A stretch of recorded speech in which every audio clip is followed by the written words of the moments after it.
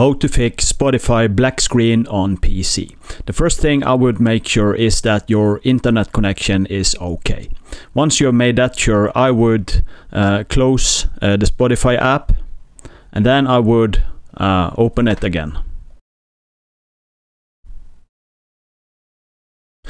In some cases, this should solve your issue. If that do not solve your issue, um, I would uh, go to um, control panel.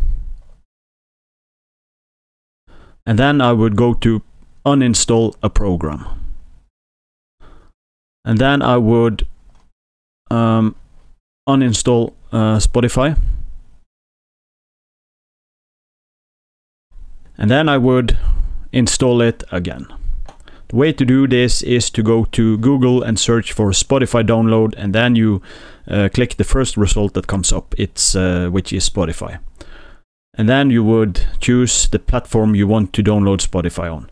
Um, I'm on Windows and I would uh, try an earlier version uh, than I currently have. So let's just try uh, 8.1 or 8, uh, not, not the current. So this is a few steps you can take to fix the Spotify black screen on PC.